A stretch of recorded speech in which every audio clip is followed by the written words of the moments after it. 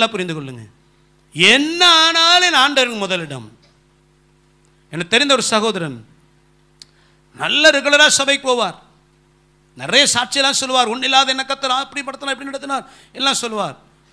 அநேக நெருக்கத்துக்கு மத்தியில் சபைக்கெல்லாம் போய் ஊழியத்துக்கெல்லாம் ஒத்தாசையாக இருந்து அப்படிலாம் இருந்த அந்த சகோதரனை கத்தர் ஆசிரியக்க ஆரம்பித்தார். ஒன்றுக்கு பல தொழில்கள் பெருகுச்சு. ஒரு தொழில் அப்படி பல தொழிலாக பிரான்ச் ஆச்சு. தொழில்கள் பெருகின உடனே சண்டே சர்ச்சுக்கு போகிறதுக்கு டைம் இல்லை இப்போ. ஞாயிற்றுக்கிழமை சர்ச்சுக்கு போகிறதுக்கு என்ன இல்லை? அவ்வளோ பிஸி அவ்வளோ பிஸி பாஸ்டர் என்ன பண்ணுறது பாஸ்டர் எனக்காக ஜோ பண்ணிக்கங்க. அவ்வளோதான் எனக்காக நாளாச்சு பணம் பெருகுச்சு எல்லா பாவ பழக்கமும் கடைசியில் இப்போ பிஸ்னஸ் இருக்குது பணம் இருக்குது சமாதானம் இல்லை. ஏன்னு சொல்லுகிறேன் கத்தரை தேடுகிறோம். ஆனால் கொஞ்சம் ஆசீர்வாதம் வந்த உடனே ஆண்டர் தேட நேரம் இல்லை. அல்லது கொஞ்சம் பிரச்சனை வந்துட்டா விசுவாசம் நிற்க மனசு இல்லை. க- ஜெபிக்க நேரம் இல்லை வேத வாசிக்க நேரம் இல்லை கத்தரை தேட நேரம் இல்லை சர்ச்சுக்கு வர நேரம் இல்லை துதிக்க நேரம் இல்லை அவ்வளோ நம்ம பிஸி ஆயிடுறோம். தேவன் சபைக்கு அட்டனன்ஸ் போடுவதற்கு நம்மை கொண்டு வரல. அவர் தேடுகிற உணர்வுள்ளவர்களாய் அந்த அன்பின் வைராக்கியத்தோட என்னானாலும் என் தேவன் என் வாழ்க்கையில முதலிடம். லூயாம் சத்தமா சொல்லுவோமா? பேது ராத்திரிலாம் மீன் பிடிக்க வலை போடுறாரு. ஒன்றும் அகப்படலை. டோட்டலாக டைம் வேஸ்ட் வெறுமையாக இருக்கிறாரு. படகு வெறுமை வலையை அலசிட்டு இருக்கிறாரு. இப்போ ஏசு வருகிறார் அந்த படகுல ஏறுகிறார் பிரசங்கம் பண்ணுகிறார். பிரசங்கம் முடித்த உடனே பேதரு கொண்டே வலையை போடுப்பான்றாரு. அவர் வார்த்தையை நம்பி பேதுரு வலையை போடுறாரு. ஒரு படகுலேருந்து வலையை போட்ட பேதுருவுக்கு ரெண்டு படகு மீன் கிடைச்சிருச்சு. தூரத்தில் யாக்கோபு யோவான் படகு எம்டியாக இருக்குது. அதை கொண்டு வாங்கப்பான்னு சொல்லி ரெண்டு படகு மீன் நிறைச்சாச்சு இப்போ ஒன்றில்லாத இவர்களை கத்தர் ஆசீர்வதித்தார். ஏன் ஆசீர்வதித்தார்? கத்தருடைய வார்த்தை விசுவாசிச்சு கீழ்ப்படிஞ்சாங்க. இப்போ ஆண்டு சொல்றார் பாருங்க, ஐந்து பதினொன்றில் என்னை பின்பற்றி வாருங்கள் சொன்ன உடனே இவர்கள் படவை வலை எல்லாத்தையும் விட்டுட்டு யார் பின்னாடி போயிட்டாங்களா? படவில் என்ன இருக்குது? அண்டவரை கொஞ்சம் இரும் வியாபாரம் பண்ணிட்டு வந்துடுறேன். கொஞ்சம் இருமையா ரெண்டு படகு மீனையும் கொடுத்து போட்டு நல்லா பெரிய பெரிய பெரிய மீனாக கிடக்குது. துண்டு மீனாக கிடக்குது. வஞ்சரமும் பாறையுமா கிடக்குது. வித்தா கொஞ்சம் துட்டு கிடைக்கும். கொஞ்சம் ஓரம் அப்படி நில்லாண்டவர் ஏழை விட்டுறேன் ரெண்டு படகு மீன் துட்டு கிடைக்கும். அதுக்கப்புறம் பின்னாடி? சொன்னாங்களா அப்படி? எல்லாத்தையும் விட்டுட்டு இயேசு ஏன் இயேசு பின்பற்றி வந்தாங்க? அவர்கள் கத்தரை தேடுகிறவர்கள் அல்ல கத்தரை தேடுகிற உணர்வுள்ளவர்கள். லேலூயா லேலூயா அவங்கள பார்த்து ஒரு நாள் ஆண்டு கேட்பாரு ஏப்பா என் பின்னாடி வந்தீங்களே? ஏதாயிலும் குறை உங்களுக்கு இருந்துச்சா? அப்படின்னு சீர் சொல்லுவாங்க எங்களுக்கு ஒரு குறையுமே. அதுக்கப்புறம் ஏசு உயிர்ந்ததுக்கப்புறம் சபை வளர்ந்துச்சு. அன்னைக்கு இருக்கிற மில்லியனஸ் எல்லாமே சபைக்குள்ள தான் சபை தான் என்னவா இருக்குது? எல்லாம் சொத்தி கொண்டு வந்து வச்சாச்சு. எல்லாரும் பரிபூர்ணமாக திருப்தியாக இருந்தார்கள். கத்தரை தேடுகிற உணர்வு யாருக்கு இருக்குதோ அவர்கள் ஒரு குறைவும் இல்லை. இல்லையிலூயா நான் கத்தரை தேடுகிற உணர்வுள்ளவனா. கொஞ்சம் வேதத்திலிருந்து ஒரு மனுஷன வாழ்க்கையிலிருந்து கர்த்தரை தேடுகிற உணர்வுள்ள வாழ்க்கை எப்படிப்பட்ட வாழ்க்கை? கர்த்தரை தேடுகிற இருதயம் எப்படி இருக்கும்? இன்னொரு மனுஷன் குறித்து பார்க்க போகிறோம் வாசிங்க. ரெண்டு நாளாகமும். பதினேழாவது அதிகாரம். முதல் வசனம்.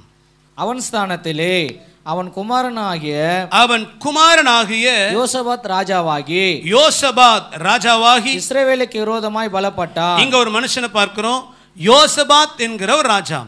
இவன் யூதாவுக்கு ராஜாவாய் வருகிறான். நல்ல தேவ பக்தியுள்ள மனுஷன். இவங்க அப்பா ஆசா வந்து ஆரம்பத்தில் பக்தியுள்ளவன் பின்னாடி போக போக இறுதியை கடினப்பட்டு கத்தோடு பின்வாங்கி போனவன் இவங்க அப்பா ஆசா. ஆனால் இவன் அப்பா இப்படி பொல்லாதவனாக இருந்தாலும் இவனுக்கு பிறந்த மகன் யோசபாத். இவன் நல்ல தெய்வ பயம் உள்ளவன் கத்தரை தேடுகிறவன் அவன் கத்தரை அவன் ஒரு வ- வசனமே சொல்லுது பாருங்கள் மூணு நாளை வாசிங்களேன். மூணு நாலு. கர்த்தர் யோசபாத்தோடு இருந்தார். ம். அவன் பாகால்களை தேடாமல் தன் தகப்பனாகிய தாவீது முன்னாட்களில் நடந்த வழிகளில் நடந்து தன் தன் தகப்பனுடைய தேவனை தேடி அடுத்து வாசிங்க. தன் தகப்பனுடைய தேவனை தேடி தகப்பனுடைய தேவனை தேடி இஸ்ரவேலுடைய செய்கைகளின்படி நடவாமல் இஸ்ரவேலுடைய செய்கையின்படி நடவாமல் அவருடைய கற்பனைகளின்படி நடந்து கொண்டான். தன் தகப்பனுடைய தேவனை தேடினவன் இந்த யோசபத் ராஜா. லேலூயா லேலூயா அந்த நாட்களிலே ராஜா அப்படின்னு சொல்லும் பொழுது அவன் கத்தரை வார்த்தை சொல்லுவதற்கென்று ஆசாரிகள் இருப்பார்கள். நல்ல ஆலோசனை இருப்பார்கள். தீர்க்கதரிசிகள் இருப்பார்கள். தெய்வ பக்தியுள்ள சில மனிதர்கள் தேவ மனிதர்கள் ராஜாவோடு இருப்பார்கள். ராஜா வழி வரும் பொழுதெல்லாம் புத்தி சொல்லவும் கத்திரை வார்த்தை சொல்லவும் இந்த ராஜாவை சீர்படுத்துவதற்கென்று சில தேவ மனிதர்கள் இருப்பார்கள். ஆனால் இந்த யோசபாத் அப்படி அல்ல. இவன் சாதாரணமாகவே இவன் சுவாபமே கத்தரை தேடுகிறவனும் தேடுவதில் உண்மையிலுமான ஒரு மனுஷன். அலையலூயா இப்போ இந்த யோசபாத் கத்தரை தேடினதினால் கத்தரை தேடுகிறவனா இருந்ததினால் கத்தை எப்படிலாம் ஆசிரிக்கிறார் பாருங்க. ஐந்தாவது வசனம் வாசிங்களேன். ஆகையால் கர்த்தர் அவன் கையில் ராஜ்யபாரத்தை திடப்படுத்தினார். யூதா கோத்திரத்தார் எல்லாரும் யோசபாத்துக்கு காணிக்கைகளை கொண்டு வந்தார்கள். அவனுக்கு அவனுக்கு ஐஸ்வர்யமும் ஐஸ்வர்யமும் கனமும் மிகுதியா இருந்தது. என்ன இருந்துச்சா? என்ன இருந்துச்சா? ஐஸ்வர்யமும். அப்ப பொருளாதார ஆசீர்வாதம் எப்ப வருது? கத்தரை உண்மையாய் தேடும்போது. பக்கத்து கையை பிடிங்க.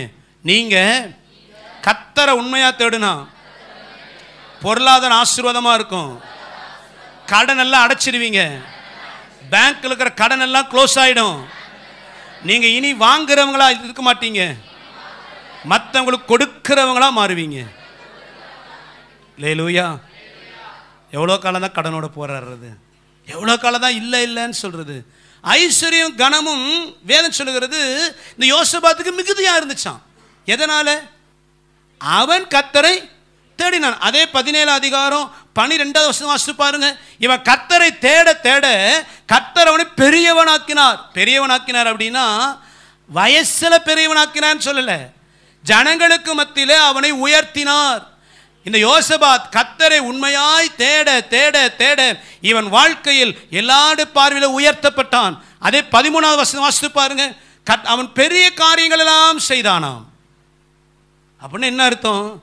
நாம் கத்தரை தேடும் பொழுது நாம் எதை செய்கிறோமோ அதை கத்தர் ஆஸ்வதிப்பார். லூயா நீங்கள் கத்தரை உண்மையாக தேடுனா நீங்கள் செய்கிற வேலையை ஆஸ்வதிப்பார். வேலை செய்கிற இடத்துல புத்திமானாய் கத்தை நடத்துவார். உங்கள் தொழிலை கத்தர் ஆஸ்வதிப்பார். தொழில வளர்ச்சி வரும். உங்கள் பிள்ளைங்க வாழ்க்கை ஆஸ்வதிக்கப்படும். நீங்கள் கத்தரை உண்மையாய் தேடினால் நீங்கள் எந்த காரியத்தில் கைவிக்கிறீர்களோ அதிலே கத்தர் ஒரு ஜெயத்தை கட்டளையிடுவார். ஹalleluya.